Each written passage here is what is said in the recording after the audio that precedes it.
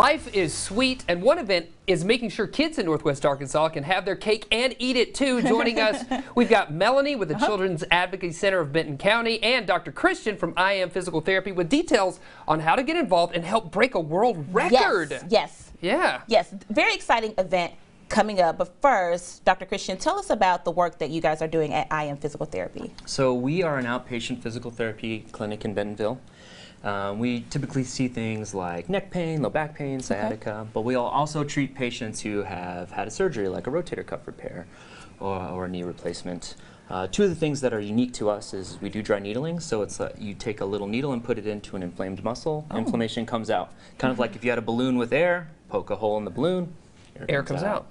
Yeah, Exactly. makes sense. Interesting. um, one of the other things that we do that's very unique to us is we do women's health. So women who have difficulty with urinary incontinence or pelvic floor pain, uh, your your post-op, your your, your moms, um, they would benefit a lot from that. Wow. Yep. Okay. Now, this event, which is super fun, it's going to benefit the Children's Advocacy Center of Benton County. Melanie, tell us about the work that you guys are doing at the center. Absolutely. So the Children's Advocacy Center in Benton County, we provide comprehensive services for children and their families who have experienced child abuse and neglect. And so we do advocacy, forensic interviewing, counseling, medical exams, um, and provide training opportunities for the community to raise awareness. Oh. Awesome. Now, Dr. So Christian, important. you guys are one of the sponsors of this awesome event. Tell us about it. Very, very exciting and a very unique event that everybody in Northwest Arkansas can get involved in. Correct. So we are breaking a Guinness World Record for Yes. the world's largest cake walk.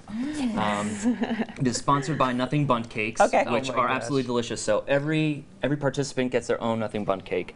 Um, we're breaking this Guinness World Record. It's at Orchards Park, July 2nd, 2 p.m. Everybody's invited. Um, we're going to have bouncy houses. We're going to have DJ. We're going to have photographers. Okay. Um, and then, of course, cake. And we're going to become world record holders. Okay, so it's going to start at 2 p.m., but there's going to be some things happening at noon out there at Orchards Park. So all kinds of fun, bouncy houses, music, all the things happening. $12, swag bag, Nothing Bundt cakes, giveaways, mm-hmm. all kinds of things happening Yep.